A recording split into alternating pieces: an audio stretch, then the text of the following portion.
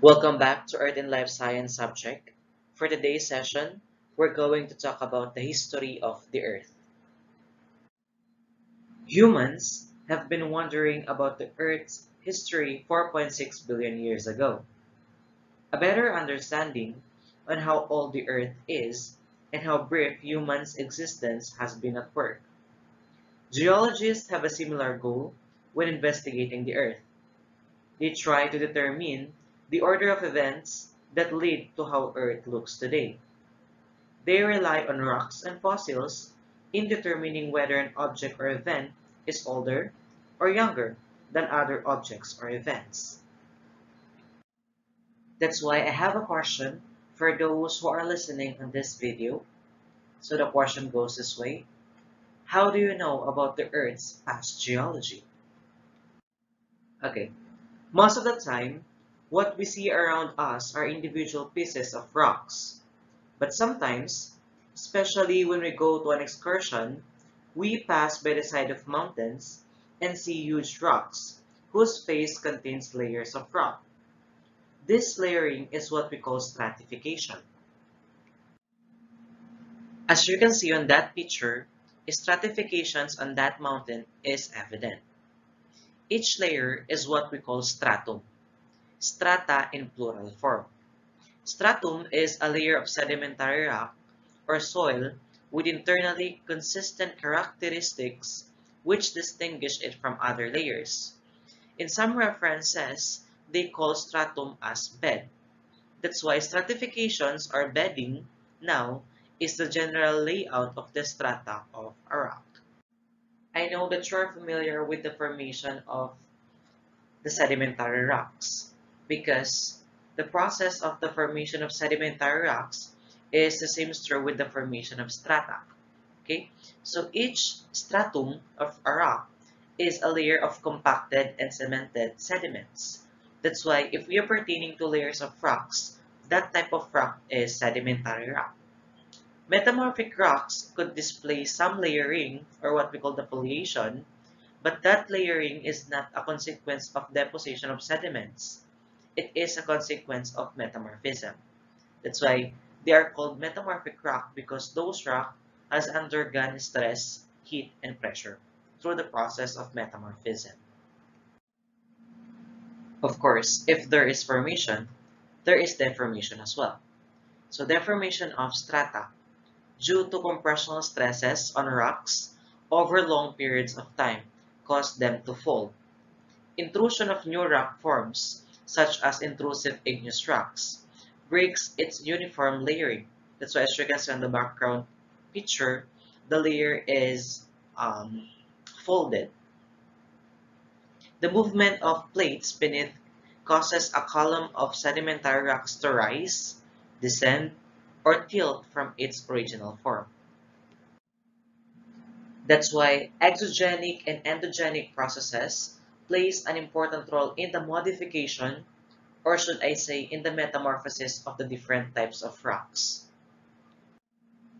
In order for us to understand the evolution of Earth, dating methods are used to reconstruct the history of rocks, minerals, and other materials found on Earth. But before going to discuss the two types of dating method, let's discuss first what is all about the law of uniformitarianism. By the beginning of Renaissance, scientists began to speculate that geological time far exceed historical time. In the Age of Enlightenment, Scottish doctor and farmer James Hutton introduced the idea of uniformitarianism. It's a proposition that will become the foundation of geology. And this law states that geological processes that take place today operated in the same manner in the past. This simply means that the geological processes that we observe today also operated in the same way in the past, and we are responsible for the formation of geological features around us.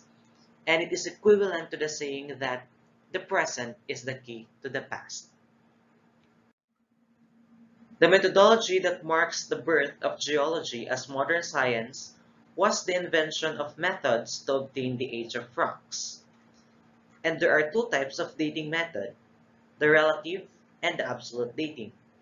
These methods are used to reconstruct the history of rocks, minerals, and other materials found on Earth. Okay, the first type of dating method is what we call the relative dating. Relative dating is a method used to determine the relative order of geologic events. And this is done through stratigraphy, or the succession of rocks, where the order of rock formations correlates to geologic time. The topmost layer suggests that the most recent. In like manner, the oldest rocks are understood to be at the bottom, and that is what we call the law of superimposition.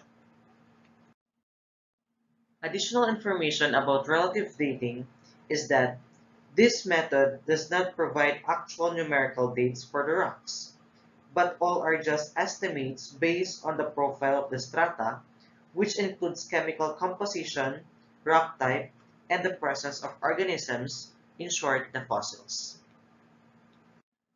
Okay, so the other type of dating method is what we call the absolute dating.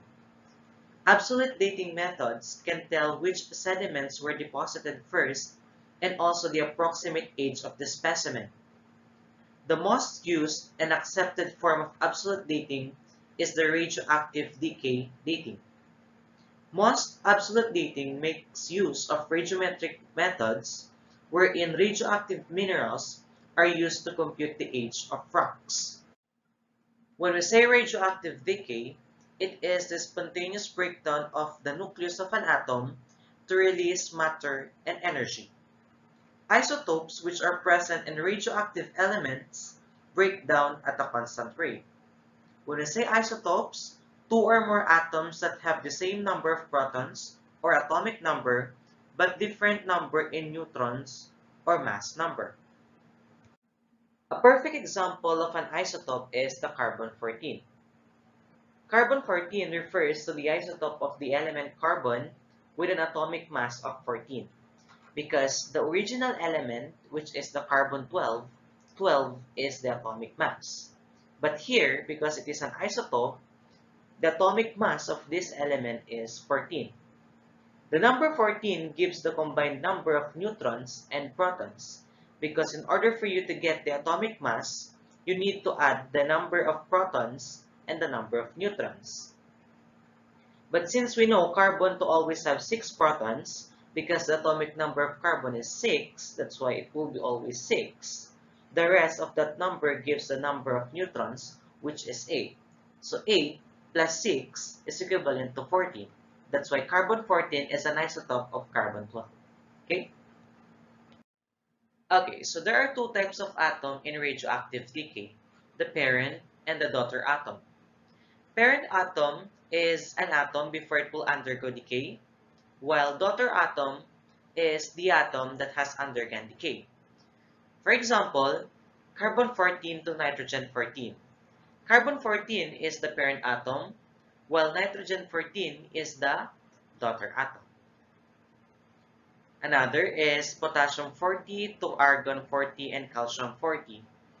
So potassium-40 is the parent atom, while argon-40 and calcium-40 are the daughter atoms.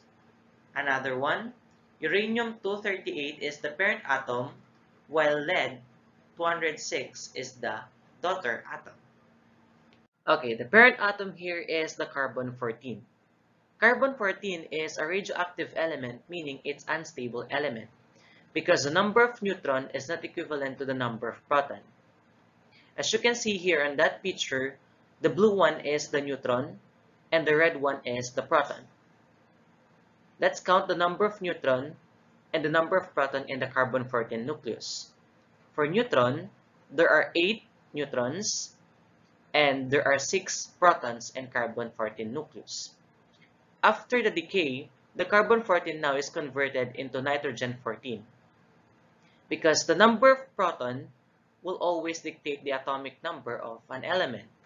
So meaning, if we're going to count the number of proton in nitrogen, which is 1, 2, 3, 4, 5, 6, 7, so there are 7 protons now in nitrogen-14, and the neutron is 1, 2, 3, 4, 5, 6, 7. So there are 7 neutrons as well.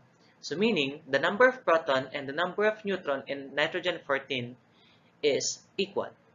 That's why nitrogen-14 now is a stable element and nitrogen-14 is considered as the daughter atom of the carbon-14. Always remember that the number of proton will determine the atomic number of an element. That's why as you can see on the product of this decay, that is nitrogen-14, try to count the number of protons. 1, 2, 3, 4, 5, 6, 7. So there are 7 protons on the product of this decay. Try to check your periodic table. The seventh element on the periodic table is nitrogen.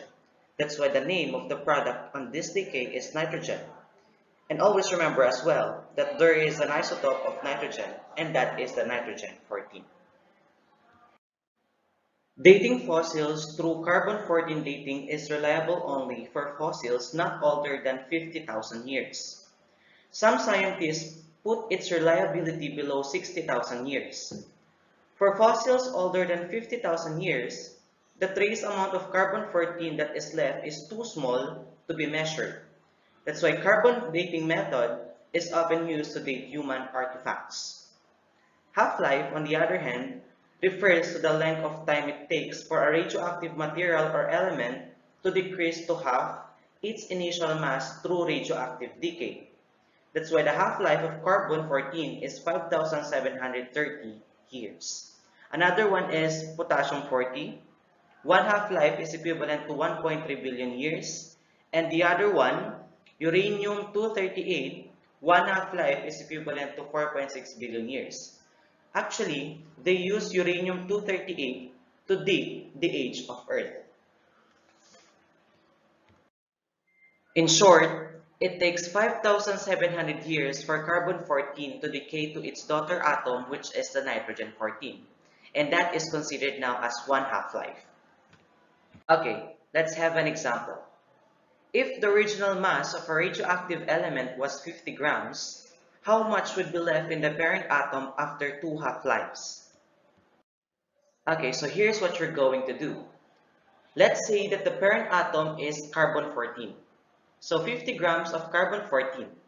When an organism was alive, it absorbed those 50 grams of carbon-14 somehow. When it was died and fossilized, that carbon-14 began to break down because it's radioactive, means unstable atom. So after one half-life, half of the carbon-14 has broken down into nitrogen-14, which is 25 grams of carbon-14 and 25 grams of nitrogen-14. And it takes 5,700 years for one half-life of carbon-14 to take place. So what will be the answer? For the solution, here's what you're going to do.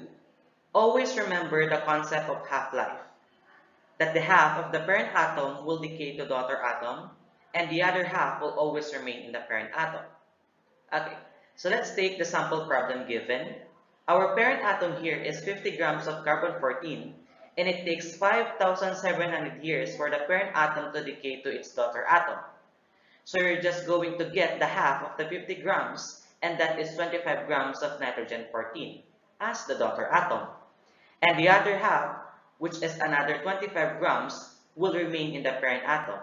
That's why the products for the first half-life are 25 grams of nitrogen-14 and 25 grams of carbon-14. But the question is, two half-lives, meaning you're going to add another half-life in order for us to complete the dating. Now, the parent for the second decay is 25 grams of carbon-14 and it takes another 5,700 years for our parent atom to decay to its daughter atoms.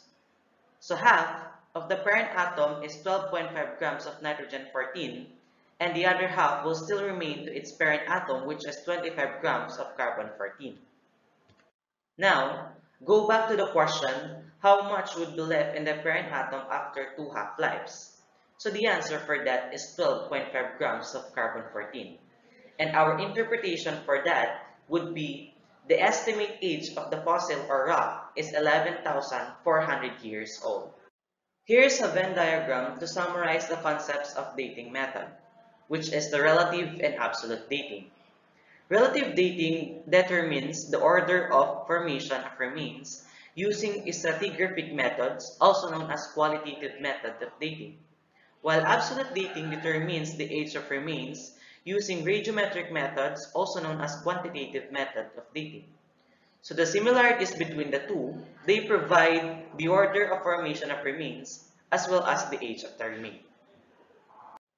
A team of geologists collected samples of very old rocks from different parts of the world. They obtained the average quantities of potassium-40 and argon-40 contained per 1 gram of these rocks and recorded them. Using the age of these rocks as estimates for the age of our planet, how old is the Earth? The sample of rocks suggests Earth is at least 3.9 billion years old. Geologists, however, place the age of our planet at around 4.6 billion years. Between 3.9 and 4.6 billion years ago, Earth was an ocean of magma.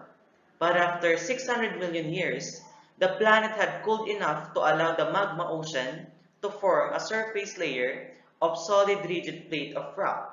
And this rigid plate of rock was Earth's first crust. And that is what we call now the Pangaea. So go back to the question, um, how old is the Earth? So the answer for that, Earth is approximately 4.6 billion years old. Before we end this session, I just want to share with you my quotation. So the quotation goes this way. If you don't know history, meaning you don't know anything, you are like a leaf who doesn't know that it is part of a tree. History is not repeating itself. Actually, it's the people who is repeating history. That's all for today. Thank you for listening and have a good day ahead.